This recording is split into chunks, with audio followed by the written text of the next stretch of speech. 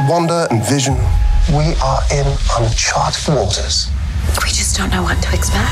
Hi, I'm Paul Bettany, and this is Elizabeth Olsen, and we're here with IMDb that wants us to ask each other anything.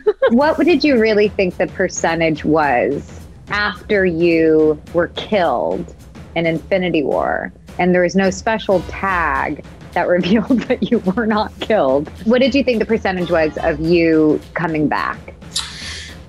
I was sort of very much in the kind of 10 to 15%. I, Oh. at one point, there was going to be a tag um, where you opened a sort of body bag drawer and there was the vision. Kevin kind of talked to me and said, I just, I got to pull the shot. And I was like, Oh, because I really wanted that profit participation.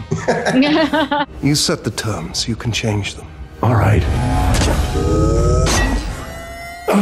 Then he called me up and said, "I can you come into the office?" And you know, when the boss calls you up and your contract's over and he's called you into the office, you kind of know exactly what that's about. And I thought I was going to get kicked off the case, you know. So I uh, I went in and I didn't want anybody to feel comfort- uncomfortable. So I said, "Look, it's been a great run and I love you guys and no hard feelings." And they went, "Wait, are you quitting?" And I went no, aren't you firing me? And they went, mm, no. And I went, oh, oh yeah, yeah, okay. And they went, we're going to put you in the show. And I went, I'm in. And that was it. We are an unusual couple.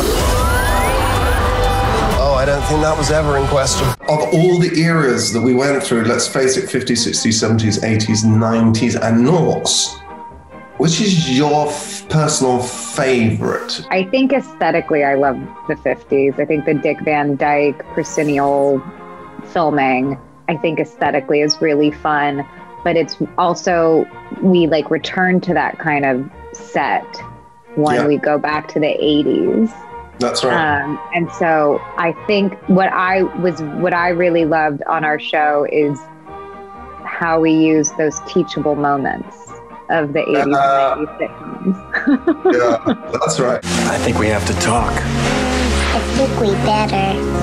But I have to say, I really do love your hair in in the The 70s. 70s. I Oh, love oh, you mean the looks. What was your favorite wig?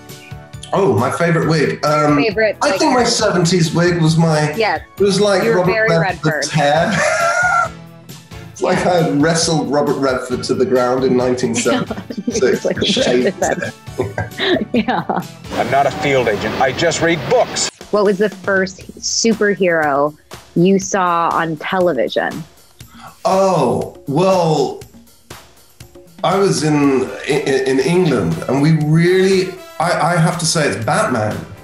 And that feels slightly too. um, like off brand right now. We hate to sound a sour note, Joker. But it's time for us to make our own collection. We had Batman and Spider Man basically, and I didn't know there were any other superheroes at all until I was in Marvel. oh no, it was Superman too. We had Superman. Superman, yeah. So there was Superman, yeah. Oh, and there was this terrible Robin. guy called Dan Dare who was a British kind of superhero, I think. Um, yeah, that's that's the end of that.